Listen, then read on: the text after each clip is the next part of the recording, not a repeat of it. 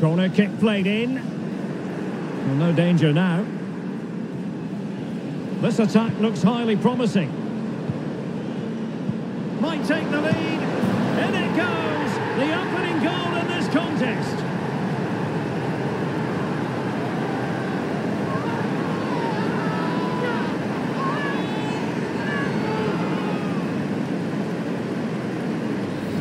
Well, here it is again. The little one-two starts it all off. And once he gets onto it, he just smashes it past the keeper with great technique.